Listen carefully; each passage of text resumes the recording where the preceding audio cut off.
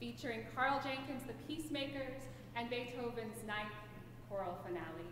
It's so wonderful to see all of you in person and a very warm welcome to all of you joining us via live stream. I have just a few announcements to share and then I promise we'll get right to the music. Restrooms are located both just outside the side door here um, through the sanctuary and also just down the hallway through the connector in the education building. I would ask that you now please take a moment to make sure your phones and electronic devices are on silent. Um, this way we can all enjoy the concert this evening. And now, as you are comfortable, friends, I invite you to please join me in prayer. Holy God, bless all of us who have gathered here to share in your beautiful gift of music. Lord, we ask that you bless the musicians who have worked so hard to present this concert tonight. We lift up their countless hours of practice time and many late nights.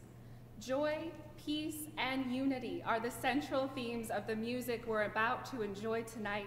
So, Lord, we ask that by your grace, a spirit of unity, joy, and peace would emanate out from this sacred space and into the world, especially to Ukraine and the parts of our world that currently cry out for peace and for an end to war. May each word that is sung and every note that is played tonight touch the hearts of your people so that we all would be drawn closer to you and in unity to one another. Through Jesus Christ our Lord. Amen.